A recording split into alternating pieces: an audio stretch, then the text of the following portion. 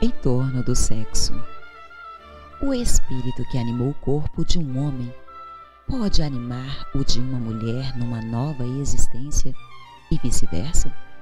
Sim, pois são os mesmos espíritos que animam os homens e as mulheres. Questão número 201 de O Livro dos Espíritos. Ante os problemas do sexo, é forçoso lembrar que toda criatura traz os seus temas particulares com referência ao assunto. Transsexualidade, homossexualidade, heterossexualidade, bissexualidade e assexualidade que se exteriorizam no campo da forma ou nas sutis engrenagens da psique, têm suas nascentes e funções nas tecelagens do espírito.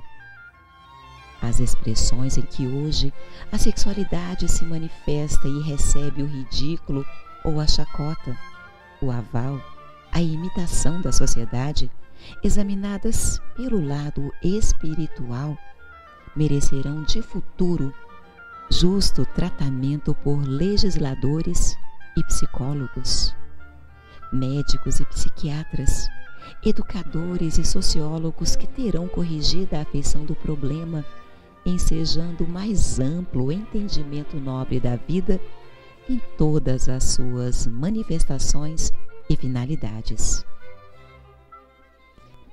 Singularmente vinculada à anterioridade do espírito, a problemática do sexo exige carinho e caridade. Estamos em plena era de renovação planetária. A Terra se eleva na hierarquia dos mundos passando de planeta de provas e expiações para planeta de regeneração que se caracteriza pela presença do amor como elo fundamental entre as criaturas.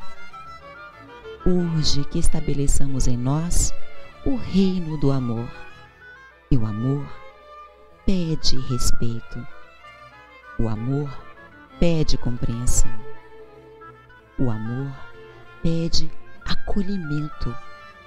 O amor pede inclusão.